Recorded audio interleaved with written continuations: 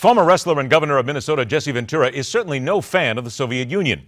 So perhaps he won't be all that thrilled to note that he is being lauded by the Russian run television network RT for calling out the American Big Brother government over the film American Sniper. Then again, Ventura is the one who gave the propaganda network an interview slamming not only the movie, but the head of the U.S. Broadcasting Board of Governors for equating the Russian broadcasters with terrorist organizations. It's all part of the sideshow for Governor Ventura, who had a personal run in with American sniper Chris Kyle years ago, was victorious in a lawsuit against Kyle's estate for defamation, and now is blasting away at Kyle for being anything but a hero. So over the top ropes we go. Newsmax anchor John Bachman gives us some in depth here. John? Yeah, and a lot of people were scratching their heads at about that lawsuit because this all took place after the death of Chris Kyle. And of course, you know what they say about success, it breeds contempt. And American Sniper, the movie, has made more than $200 million now since it first opened here in the U.S.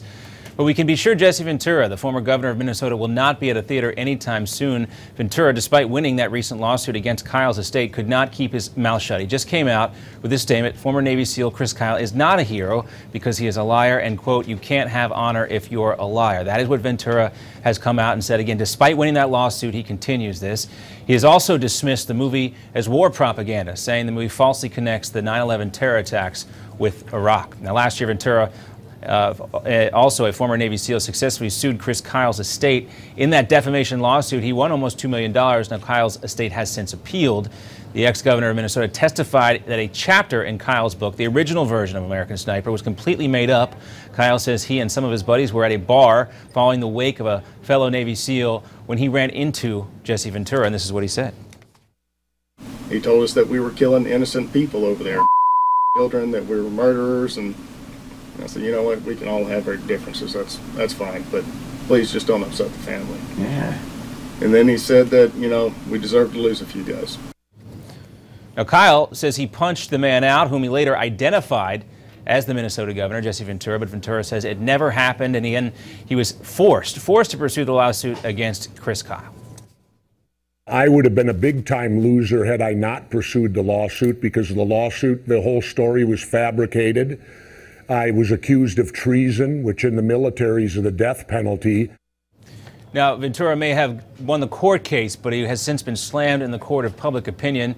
However, ultimately, Ventura was vindicated, he says. The publishing company, HarperCollins, removed that passage from the book, and also the movie version of the story does not mention it in any way, shape, or form. But it's not over. As we mentioned, Chris Kyle's estate has appealed the court's decision, and Taya Kyle, his widow, says she stands by her husband's side of the story. Now, again, Kyle was killed back in 2013 on a shooting range while he was working with Eddie Ray Routh, a former a soldier who had PTSD. Routh's trial has been set to begin in Texas next month. Now, we'll have to see if Jesse Ventura can at least let that go on without uh, piping in here. But I spoke to uh, the publishing company, Ed, and uh, Taya Kyle was devastated by the, the uh, verdict here in this case, and they do vow to appeal, uh, and also spoke to some other SEALs, too. And there's a, a lot of uh, a disagreement about what took place, uh, but it's not as cut and dry as that court case made everything sound. The funny thing is, I saw American Sniper this past weekend. I did not come away from the movie thinking that it was a rah rah American piece. I came away of it thinking as a man who was there doing his job, had a very difficult and emotional time doing it, how it affected him, how he came home from it all. I mean, it was much more introspective. This was not a rah rah war movie. This was about an individual. That's why I think Jesse Ventura's just got this all wrong. And I have to wonder if indeed, as many people have said to me in the last couple of days, maybe Jesse's just looking for a way to get back into the presidential race. Please. Yeah, and Kyle, Kyle, Kyle, was willing to take the heat for, for speaking so publicly about his job. That was also a little controversial as well with some of these Navy SEALs who had been taught their entire careers.